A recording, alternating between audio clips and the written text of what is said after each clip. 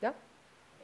Hola, ¿qué tal? Bienvenidos a un nuevo programa de Rock and Sex desde Casa Manigua en la 45 con 19. Ya saben que ustedes pueden venir con todos sus amigos a parchar, a tomarse una buena cerveza. Bienvenidos siempre todos aquí a Casa Manigua y como siempre, pues con buenos invitados, como cada Rock and Sex, hoy tengo a mi lado Andrés Guerrero. ¿Cómo estás? Bienvenido a Rock and Sex. Hola, muchísimas gracias por la invitación. Un placer. Por fin lo logramos. siempre digo eso, hay al- algunas entrevistas que se dilatan un poco, pero bueno, lo importante es que estás aquí. Por favor, cuéntale a toda la gente que se va conectando a través de la fanpage, pues, ¿qué estilo de música haces? Eh, enamóralos, como tienen que ir a escuchar porque tal, tal y tal. Bueno, eh, mi música es grubera y siempre digo que es profunda porque tiene que ver con todo lo que voy descubriendo del, del universo y pero ahora estoy metido en un tema del groove y de, de meterle ritmo, mucho ritmo, rock, eh, soul. El grupo es lo que le da como el sex, diría yo. Eh, le da, sí, sí, total. ¿Cuánto tiempo de esa carrera musical? Llevas un montón, ¿no? Sí, sí, pues o sea, llevo haciendo música muchísimo tiempo, yo creo que diría, diría más de unos 10 años. Creo que la primera canción que compuse ya tiene por ahí. Em, y ha pasado, he pasado por todos los espacios, por todos los lugares, por todas las caídas también, diferentes países también viviendo. Y ahora estoy acá como súper enfocado en, en la producción y en, y en como darle vuelo a todo esto que tenía súper guardado, discos y discos y discos ahí en las libretas para toda la gente. ¿Ya cuántos discos?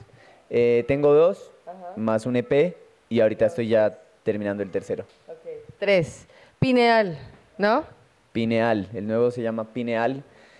eh, justamente tiene que ver con todo eso que no se ve. Por ejemplo.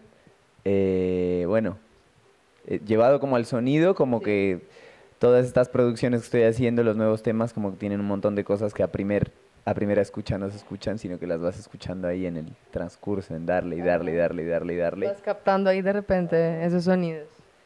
Y ya como en un tema más conceptual es todo eso que no logramos ver por las limitaciones del- de la materia. Bueno, muy interesante. Eh, ¿Cómo son tus redes para que de una vez vayan todos los que están conectándose en este Rock and Sex y pues te sigan, vayan a pillar qué es lo que pasa contigo? Eh, bueno, mis redes, eh, Facebook Andrés Guerrero, en YouTube también, en todas las plataformas digitales Andrés Guerrero y en Instagram a Guerrero 1111, ya estaba agarrado Andrés Guerrero cuando fui a verlo. Es muy, muy básico, Suele pasar. muy común el nombre, entonces el, el- el tag es a Guerrero 1111 y lo mismo en Twitter. Ok, ahí está para que lo empiecen a seguir en sus redes sociales. Y muchos de los que están, o muchas de las que están viendo este programa Rock and Sex dirán, pero ¿y ¿el de dónde es? Tiene un acento ahí, ajá. Si será de Colombia, ¿de dónde es? Por favor, cuéntales, ¿de dónde eres? Eh, yo respondo de dos formas esa pregunta y una es que nací en Pasto, pero de dónde soy justamente no e- es casi que imposible verlo porque ya recibí cosas de tantos lugares que se me fueron pegando que además me gustan, o sea, no es como, ah, quiero parecerme de tal lugar, sino agarro frases, agarro expresiones. Entonces como que termina siendo ahí una mezcolanza, ya me dijeron chileno, mexicano, eh, ecuatoriano, argentino. Eres un hombre de mundo. Sí, yo siempre uso la, la frase de Liz Regina que dice que yo soy ciudadana del mundo y bueno, estoy muy de acuerdo con eso. Sí, está, está cool. ¿Algún, ¿Algún término que se utilice para el rock and sex que sea de pasto? ¿Cómo así? Para el rock and sex. A ver, en pasto. eh, Uy, no, déjame pensar un rato, hacen otra pregunta. Da- da- da- da- tómate tu, tu tiempo, dale. Sobre todo en pasto. Eh, no, es que en pasto en verdad se, usan como las mismas expresiones, pero ya con el tema del- de la música. mm, O del sexo. riquísimo, así, pero ya como riquísimo. Le ponen eh, una como que todo- Como que todo se exagera o se di- disminuye un montón. Entonces dices chiquitiquitiquitico o riquisísimo. Eso es como una cosa súper pastusa. Bueno, pues ahí, ahí Y van... el sexo pues va por ahí, ¿no? Ricky, sí, sí, sí, sí, sí. Sí, depende igual. Sí, depende de con quién. También haces parte o creaste, bueno, aquí nos vas a contar, Aforo Total.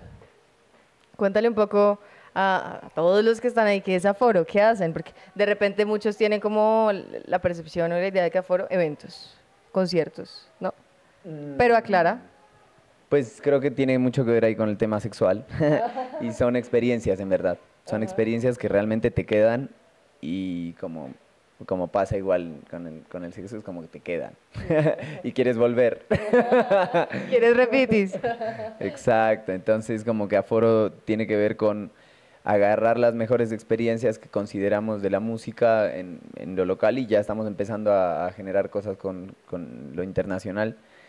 Y, mm, y llevarlas en, en las mejores condiciones para que justamente tenga esa experiencia el público. Porque pues ponele, vos tienes una bandota y vas a tocar a un antro, no, no, no, no puedes conectar lo uno con lo otro, entonces estamos en el trabajo de consolidar todo para que esa experiencia sea la más poderosa posible en los espacios más poderosos posibles y con las bandas más poderosas.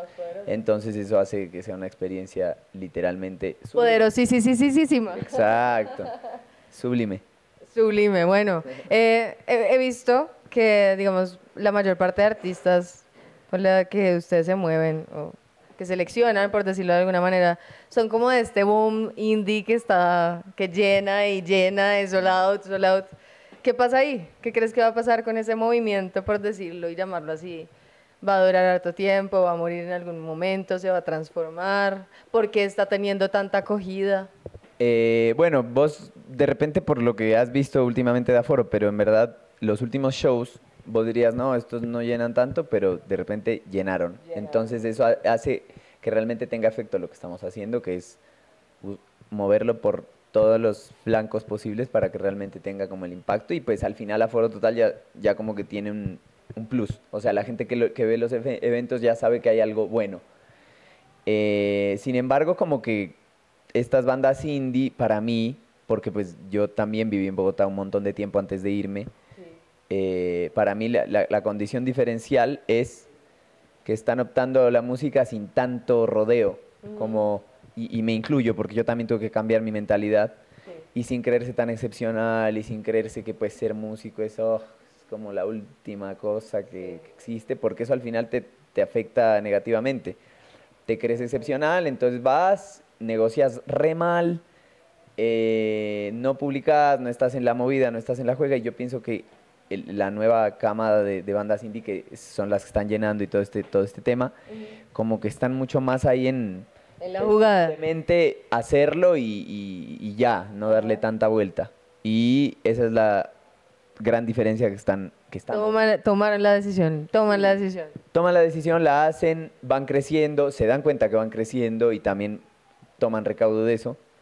Y me parece que esa es la, la total diferencia. Ahora, no significa que las nuevas sean mejores. Por ejemplo, una, eh, hemos tenido shows de bandas que si vos las ibas a ver dos meses antes, por ahí no, no llenaban nada, pero de repente en el show que hicimos nosotros llegaron 500 personas. Entonces, hay todo un tema con cómo hacer las cosas que tiene a veces que es tristísimo porque pueden haber bandas tremendas, pero que la hacen re mal en lo en el tema como de, de difusión o de, o de movida, que se quedan como ahí guardadas en el olvido. Entonces, nosotros desde Aforo como que también el aprendizaje es, listo, haces una música tremenda y nosotros la, la valoramos un montón, pero entonces hay que meterle el, Métele la ficha.